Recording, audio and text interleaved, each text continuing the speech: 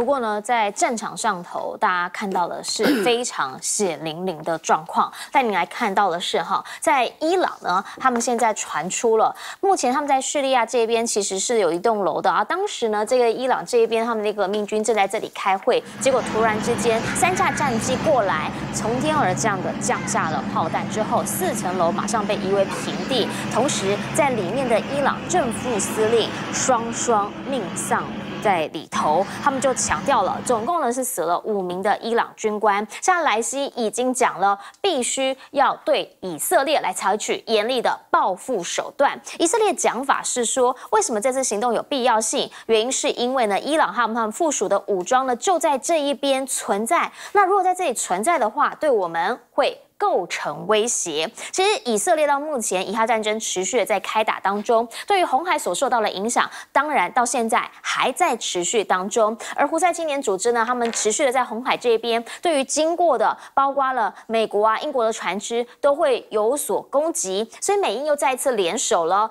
这做的是波塞顿的一个弓箭手行动，对这一些也门叛军有一波新的攻势。那当然啦，到目前为止呢，看得出来说呢是。拜登跟苏纳克两个人同时决定对八个目标发动攻击，只是这个攻击是不是真的能够把他们给完全击灭？其实大家是打一个问号的，因为现在呢，他们也讲，哎，我们现在呢也有去袭击美军的货轮呐，美方对此呢是否认的。但是您看看，现在除了红海之外，外围一点的亚亚丁湾也开始变成了一个新的场域了。现在呢，这个。伊朗直接参与，这样大家就开始想问的是，这一场的行动会不会最后以哈战争衍生成一个区域上面大家整体上面的一个战争行动？英国现在呢开始针对他们的海毒蛇飞弹系统呢，他们要升级了，因为他们说在也门这边呢持续有受到一些飞弹的威胁。当然，大家看的就是彼此之间的角力，英美。以及呢，在伊朗这一边，是不是能够跟他们整个穆斯林这边的兄弟呢，能够团结起来？至于在非洲这里呢，则是另一个角力场，因为呢，中国他们开年之后，以往就是都先来非洲这一边来做巡回，好。中方离开之后，布林肯马上紧接着来。大家讲的当然就是他希望呢能够洗一下，不要让大家通通的往那靠拢。这一次呢，包括去了奈及利亚，还有象牙海岸等等等，希望加强伙伴关系，希望给一些的经济啦，或是给一点甜头。但真的够吗？因为这回他们有通过两项计划，说要对这个德维角这国家拨款一点五亿美元。但是啦，其实德维角在美国是有大量的侨民了，那彼此之间呢早就有合作，真的能够抗衡吗？没有人知道，因为现在呢，他们是希望从基建来下手。以往在基建的这个部分呢，其实中国的强项，但这一回为什么？欧美他们能够拿下安哥拉的三十年特许权，好，主要是因为哈中国制的火车站呢说现在出纰漏了，所以呢让他们决定弃中投美。那当然啦，二零二二抢下了这个三十年的特许权，对于美国、对于英国来说是非常大的一局。大家开始在说美国耶，以前觉得非洲这边他们应该根本就很少去吧，现在因为中国每一年都去，而且。欧洲是他们非常重要的一个战略的扶植的地方，所以呢，总是跟着中国走吗？中国去哪里，你就非得要去一次吗？双方其实在这一边你来我往，到底是谁踩谁？最后谁能拿下谁？其实没有人知道。而请教赖老师，您怎么样来看这一场战争到底到什么时候会截止？也没人知道。最新是以色列呢，现在他们讲了说，因为。伊朗他们自己在这边的势力在扩张，所以我必须要行动。莱西非常生气。以色列跟伊朗之间的有限度的，嗯，那目前来讲还是有节制的相互的报复的行动，事实上是在升级。那升级到什么时候会扩大，我们还在观察。呃，前一段时间就是以色列先把伊朗的一位民兵的指挥官杀了，杀了以后呢，伊朗。马上就报复了，呃，伊朗就锁定了啊，以色列派驻在伊拉克北部库尔德区，那是美军的控制区，但是它是属于伊拉克北部的库尔德区，那美国人控制在这个地方，所以伊拉克政府没办法急于统治这块地方，呃，这个地方美国设有领事馆，领事馆外有一些啊豪宅区，里面就有一个这个以色列的情报的点，就在那个地方。那个情报点就在那个地方以后被伊朗摸到了，那确认了以后，伊朗采用精准的一个打击，所以用一枚导弹就把这一个住宅区豪宅区的一栋房子打死了，里面死了大概两到四个人，那就是以色列的情报人员。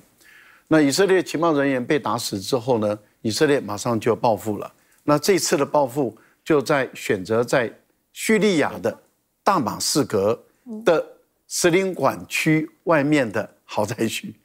那使领馆区外面的豪宅区里面有一栋建筑，就是我想各位在图片上所看到的，嗯，那一个豪宅区里面，那就住有是这个伊朗的民兵组织的指挥官，他们四五个人住在那个地方，他们是正式的官方身份，是叙利亚政府邀请伊朗的这些军事顾问住在那个地方。嗯，然后以色列把点摸到了，就把这个点就炸了。那现在伊朗的总统宣布，他们一定会报复。所以目前来说，我的判断是，伊朗的情报人员也一定会想方设法去寻找、搜索这个以色列派驻在海外的，不管是在伊拉克或在叙利亚或在黎巴嫩的这一些啊情报窝点。那如果给伊朗找到那些情报窝点的时候，是伊朗相当有可能也就采用精准的或者无人机的导弹的方法对它实施攻击。那以色列也一定会再度报复。反正信同样，因为他们的宗教基本上是大同小异的，嗯，那么他们坚信以牙还牙，所以一定是报复。那所以，但是这个螺旋的报复会不会慢慢的扩大？呃，很有可能。那另外有关于也门的这个问题，也门的诉求，它在缩小打击面。所谓的缩小打击面，也就是说，它对于红海的封锁，它只针对美国、英国跟以色列。对，所以他已经确认了说，中国大陆、俄罗斯跟德国的任何船团是不受攻击的。嗯哼。那目前来说的话，那等于是缩小了打击面了，所以变成。红海的这个跟也门的冲突，就变成美国跟英国的事情了。是，因为法国、德国、意大利等他们就不参加美国的军事行动。好，可是伊朗看起来也已经开始要介入了，因为这是路特社的报道。是，那换言之，也就是说，美国跟英国的这种军事行动，并没有办法摧毁也门的这个攻击能力。为什么？因为相当有可能伊朗会把也门所需要的这些武器。那么源源不绝的会送进也门，所以红海的这个紧张的局势，短时间是没有办法解掉。好，整个区域上面看起来，在二零二四的开年啊还没有办法真的能够回归平稳。到底今年要到什么时候才能看到这番气象呢？我们先进广告，广告回来继续来说。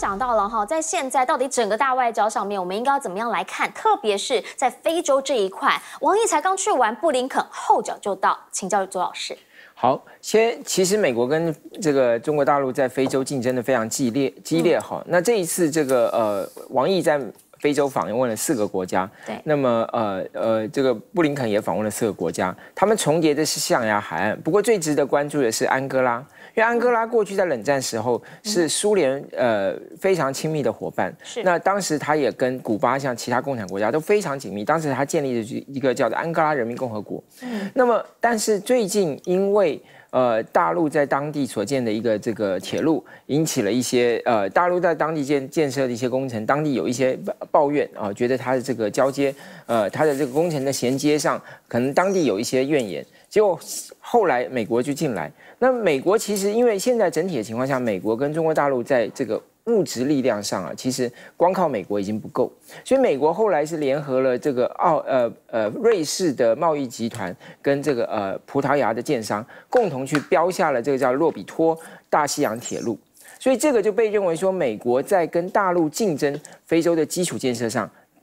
呃，攻下一城啊，这个因为这个国家是非常有代表性的，所以美国当然觉得这个是它的一个重要的里程碑。是，所以为什么这次布林肯特别去了安哥拉？那事实上，这个这个在整个非洲大陆、中国大陆的贸易关系也好，或者是基础建设，或者是援助也好，是非常多，影响力非常大。所以美国希望能够复制安哥拉基的经验到其他国家去。但是呢，美国也不是完全没有阻、没有没有阻碍的，也一帆风顺的。相反的，美国过去在非洲的强项不是经济，而是军事。但是因为从尼日政变之后，法国的部队被迫离开了尼日，那美国是。跟法国因为有这个呃北约的这个盟友关系，所以连带的美国在西非的这个军事呃存在也受到影响。因为美国过去是通过这个尼日，通过法国的军队在对抗这个地方的恐怖组织，那现在美国要重新寻找它的这个根据地。那相反的来说，中国大陆在西非的军事。呃，军事部署有一些进展，而这个是美国非常担心，因为从西非到美国的东岸非常的近，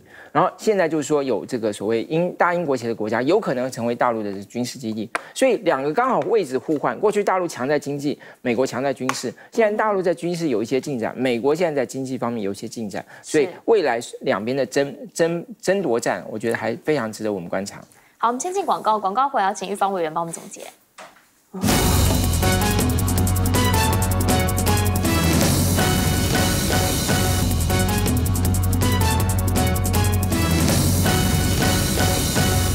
节目最后要请玉芳委员帮我们总结。其实伊朗哈，他的革命的情绪一直都是很高昂的啊，所以你看中东真主党也好啦，哈马斯也好，其实这个都是伊朗在背后支持的。可是他非常谨慎小心的，尽量不要去直接跟以色列作战，嗯，因为这样很容易把美国引进来。对，那美国曾经也有计划要攻击他的核子设施，但是呢，美国最后作罢，因为伊朗是个大国，嗯，你这一弄的话，就捅了这个。马蜂窝，这蜜蜂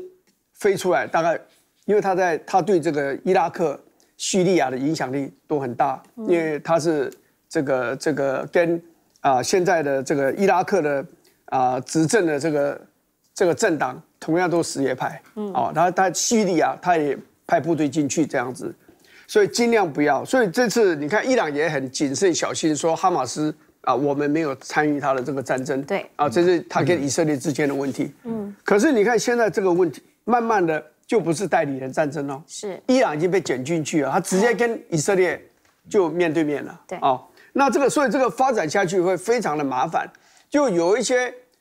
主要中这个回教国家两个国家在竞争，因为埃及这几年已经自己已经站到旁边去了。沙特阿拉伯跟伊朗，嗯，那你伊朗态度这么强硬的时候，沙特阿拉伯也不可能太软，因为他们有一种竞争的关系，哦，大家要显示他们敢跟犹太人对抗，敢跟以色列对抗，所以这个局势会变得越来越复杂，这个战火会蔓延开来，但是最后要怎么样，怎么进行，怎么收场哦，同样的也是不可预测的。是，美国态度是很重要，是，